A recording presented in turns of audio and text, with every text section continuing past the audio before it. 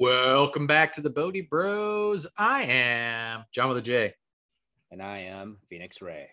And today we're going to do what we've been doing for a while, what we love doing. It's going to be really easy, probably a short version, um, just because. And that is our spirit talk. So Ray has what we like to call, at least on this show, new, new, new, new, new, new shit. Not shit, not cocky, not poo poo. It's a new deck. What is it, Ray? Is called Mystic Mondays Tarot. So I was out shopping. Um, what's the name of the store? Earthbound. It's in the Okay. mall.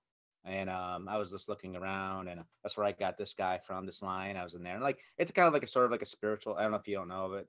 Sort of Yeah. like a spiritual store in the mall. They have like beads, and they have just stuff like this, crystals and stuff. And so I was like in there, and you know, I was just browsing, and I saw these decks, and I'm like, you know, this deck was just calling me, was like talking to me, and it was just like, hey, and like I just felt very drawn to it, and I'm like, do I need another deck? I just got another deck. I don't Yeah, know. Do I need all these yeah. decks? So I went and. I got like a this this guy was on clearance, and I got a tank top that was on clearance. And since this guy was kind of big, they're like, hey, we could hold this for you while you go, you know, shop around. So I just shopped around. I'm like, and I kept thinking about that deck was calling me. And I'm like, man, I don't know. Maybe maybe I'll go back to it. So you know what? I went back to pick up that, and I'm like, you know what? I'm gonna get that deck. That It's a pretty box. It's a pretty So box. it was like it- it's nice because it like opens up. It's got that kind of like that. Oh, I love that. And it has the um, so it has a little booklet. I have a one just like, booklet too. I have one like that too, Yeah, right here. huh? too, Yeah, Yours has that, and then um, love that. the the sides of the card are like the metallic. If you could see that, look. Let me see. Oh yeah, I love when that happens. they So what? What's the? They're, really nice. What? It looks. What's the name of it? Mystic Mondays Tarot. Mystic Mondays by- yeah, by Grace Duong. on a tu- D- on a Duong. Tuesday, folks. On a Tuesday, he pulls out the Mystic Mondays deck on me, blowing my mind here. It looks like a lot of cards too. How many card deck is that? Like seventy-two? Uh, what is this? Does it say? on I'm sure it says on the bottom. Yeah, 78. Wow, it's a massive deck. 78 cards. And the book's pretty good. I mean, it's divided in half between the regular and the, you know, if it's reversed. Yeah. Oh, yeah. So there's reverse reading. So, Yeah. so, yeah. Um, All you know, like you were saying, this is what we're going to do is we're going to pick a card and this will be the topic of our conversation. We're Right. not necessarily pulling it for a reading, but it can be used for a reading if you have something in your life that needs answers, clarification. Right.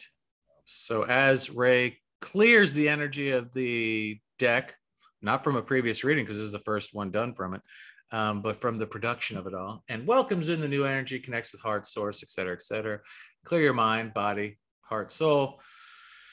Ask a message, ask for a message, or ask a question or set an intention, and just be totally open for whatever that we're about to talk about. And just by way of showing up for this video today, tomorrow, a year from now. Oh, dang, man, they are shiny. Um, let's go right down Center Street. Yeah, right down in the middle. Keep going, keep going. Spread, spread them, spread them, spread them. I want to see the rainbow of the iridescence below. It's so pretty. Man, they are so glossy. Oh, wait, stop. No, go back. Uh, yeah. Oh, yeah, that's the one. This one? Okay. Yeah. All right, let me put let me put this big stack back in the box.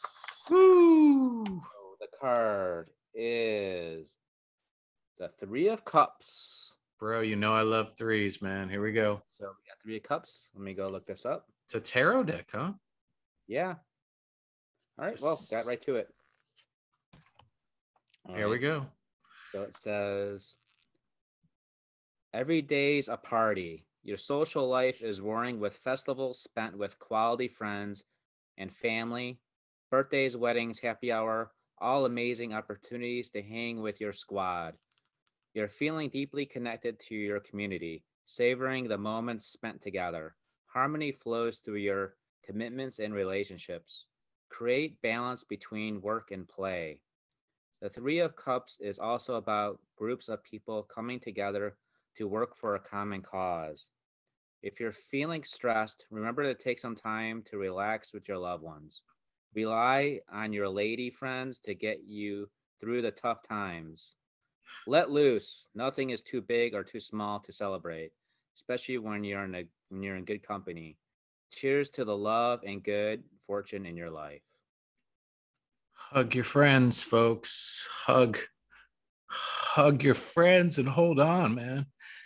Damn you, Ray, for pulling this card on a day of grieving. Ah, thank you for pulling this card. Um, hug your friends, folks. Lost a dear friend last night.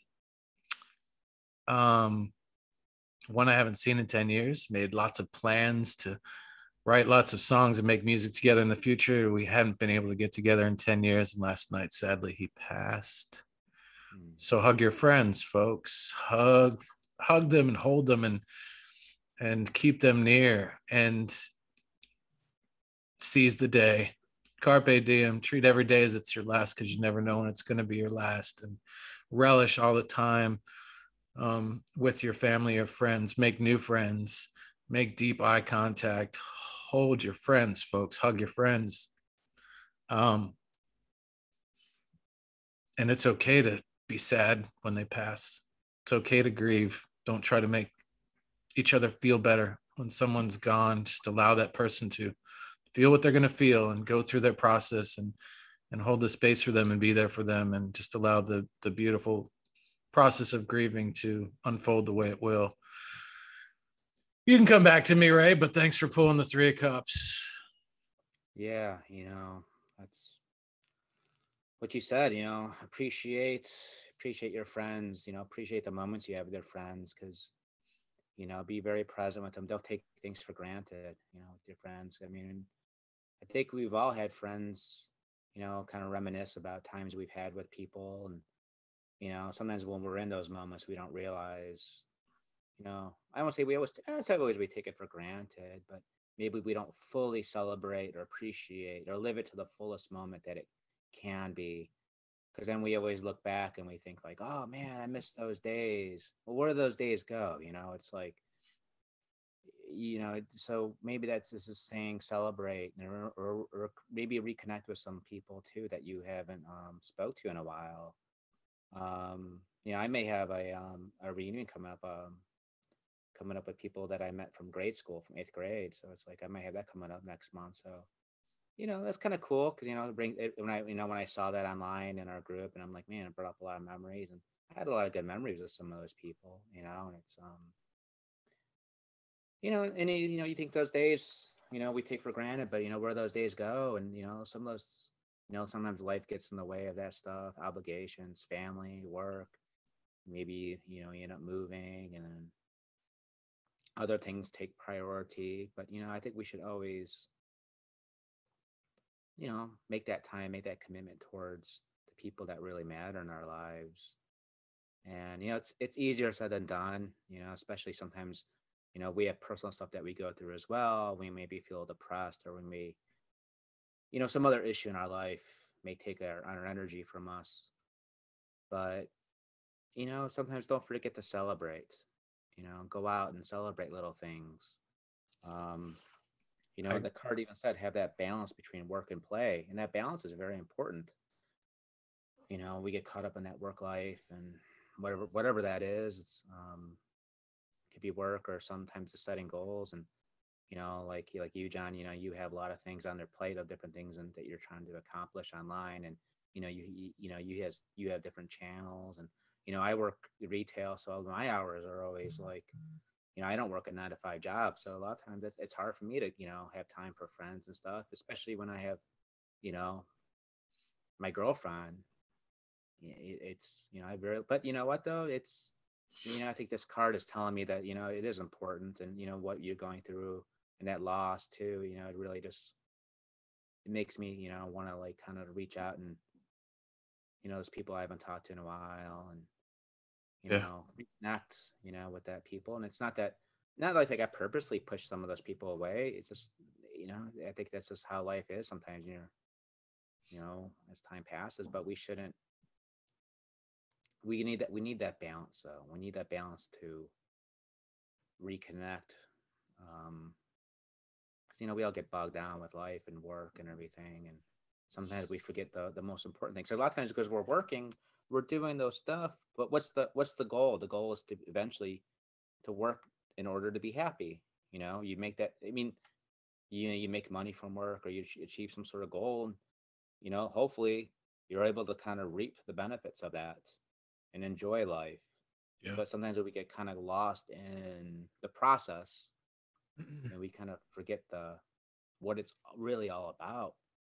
Um, I think it reminds me a little bit of this one story. I don't I know I'm gonna butcher this story, but there was this guy that was like playing, I don't know, I think this guy something he was on the dock playing guitar and he owned um I think he owned like a boating, something kind of boating transportation. And this one wealthy guy comes up to him. he's like, dude, you're making, you could make so much more money, you know, doing this. This, like, you know, you could buy, like, take that money and invest in more ships. And you could just do that. Then you could just market your business and then hire people and, you know, build this huge empire. And he's like, well, how long is all this to take? Well, you know, it probably take another, like, you know, three years to do that, then another five years to do that. Then, you know, you invest this money. Now you're to be like, you know, like, okay, well, then what's to happen at the very end? He's like, well, then you could spend all day playing guitar. He's like, I do that now. Uh, right. I need to build this all this huge thing in order to enjoy my time, you know, and that's and that guy, you know, that's having that work balance, that work life balance. And, you know, you know, yeah, sometimes work takes you have sometimes it does take that commitment and dedication, putting those hours in the job, but don't lose don't lose the big picture of why you're doing this. Yeah, maybe you're doing it because I'm gonna get more money. Okay, what are you gonna do with that money? You're gonna buy a bigger house, bigger and better car like that. You know, but really when you die, you're not gonna be thinking about that stuff. You're not gonna, you know, I mean, you're gonna be it really comes down to the connections that you made in life. And those connections, you know, have you been true to yourself? Have you been authentic? Have you really loved? You know, that's those are what's important. So yeah, work work's important. Do your work, but don't don't neglect the play. Don't neglect the connections you made and the connections. You know, don't sacrifice that in order just right. to and more stuff. Yeah, and I would say very beautifully said, my friend, and thank you for expanding on on that um, uh, the theme that we've started together here um, in in the way that you have. Sorry, I'm just my head's everywhere. Um, but I would also like to say, there's no but. I mean, in addition, I would like to say, um, well, when you have those opportunities too, or or invitations like artists, you know, and, and I would argue that we're all artists, as you've heard me argue before, but you know we, we we procrastinate or you know we say oh it's i'm not ready yet or it's not if i write this book or if i do this pay i'm not good enough yet or the words aren't going to be right the story's not going to be perfect and we we push projects off we push projects off we push projects off and like with this particular person um, that has passed i had an open invitation to go to go see him whenever and and um I, I really just would have to find a way to get there. And there's always a way to get there if you want to get there. But I think the, uh, you know, I, I don't have any money. I don't have any money. But that wasn't even a thing. It was like, we'll get, if you want to be here, we'll find a way to get you here. And so just be, be open to whatever ways you can to get to your people. And don't think that things have to be perfect to to start that project or to reunite with that person or those people or that tribe like say you moved away from your tribe or your family whatever like that and or your best friend and you're like well i want to lose 50 pounds before i see them again or i want to you know i, I want to have a successful job or something before you know then then i'll feel worthy of being back in their company or or i don't want to just go up to where they live and freeload or you know like your your your, your friends your people your your soul tribe those those heart to heart connections don't give a shit about feeding you or clothing you or or if you're going to be able to afford to take care of things while you're there. They just want you as as you want them. So don't here folks don't don't allow those things. I mean they're going to come up for you. Those are real valid concerns and and things that we battle with but I would challenge you to to work through those things, become lovingly aware of them, and listen to that aspect of you that does want to connect, and and, and maybe honor uh, that side of the equation, and and take the leap of faith. Just go, go 50 pounds heavier, go without a dollar in your pocket, and just have the adventure. reunite, connect, hug your friends, hold your people, folks, and treat every, you know, I like what Ray says. Um, treat every day as it's as it's as if it's your last, and Ray would say, treat every day as it's your first day. Right? Do do it both. Treat every day as if you only get one day. And and see it with eyes of of newness and and treat it as if when the sun goes down that's it. There's not going to be a tomorrow. Try you know you don't have to do that every day but once in a while allow yourself to to meet the day with that type of excitement and and end it and pack it full of stuff and end the day like tomorrow's not going to happen. And then if it does happen fucking a man do it all over again or rest from the exhaustion from you know the marathon of a day you have but you, you you'll i think you'll fade from this planet with a lot less regrets and and you, you know you'll meet that bed of death with with satisfaction versus you know like man what if? You know screw what if. I didn't come to this planet for what ifs i came to what's next you know so yeah yeah and it's like something you don't want to go you don't want to live your life with regret. Regrets are the worst thing.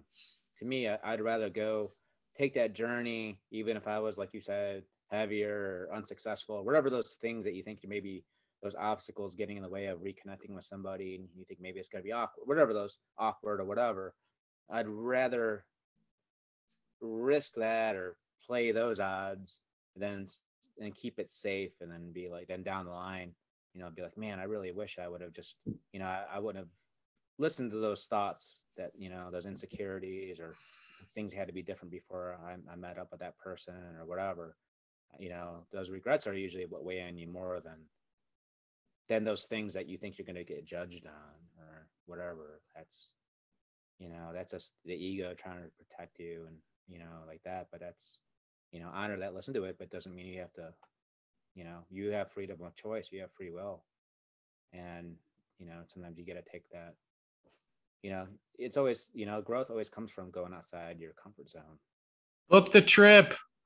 You know we always say it's okay to ask for help and the theme today is book the trip get in the car if you can't get in a plane shit hop on a sailboat there's a way to get there book the trip yeah, make it happen. So I've got nothing else, man. I think we said it. We wanted to do a short episode. You got anything else? I'm good, man.